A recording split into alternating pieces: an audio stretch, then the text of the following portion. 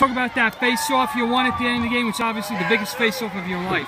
Yeah, I mean, uh, I just went out there calm as usual, thinking I was going to win it. I always try to have confidence, and then, uh, you know, my teammates were very confident in me, coaches were confident in me, so that uh, boosted my confidence. Went out there. I knew if I got the ball, I'd give us a really good shot to win. That's what we did. And um, what does it mean to win the first state title since 2003 for Yorktown? This means everything, you know, not just for me, not for us, you know, the entire Yorktown community.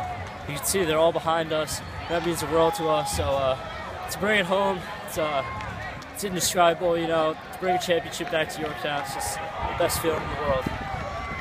First off, what was that feeling when you had that goal from basically it was coast to coast when you got it? How did that happen? Uh, we just went man down. Um, you know, I knew that we needed to lock it down on defense. Really, um, our defensive guy made a great check on the uh, you know the feed to the crease. Our defensive guy made a great check. Ball popped out, popped right in front of me. I just kind of picked it up. Uh, saw some daylight to my left, ran it out. As soon as I made it over the midfield line, I, was trying to get it to Connor Vercruysse, uh, offensive leader on our team. Um, but I saw his guy push out on him, just ran to the crease because I knew I had a guy on my back, took a shot, ball went in. So I just happened to be lucky that you know it fell, fell my way and I was able to I was able to put it in. You guys are very close to your fans. What did it mean to go and jump in the stands after the game and celebrate with them?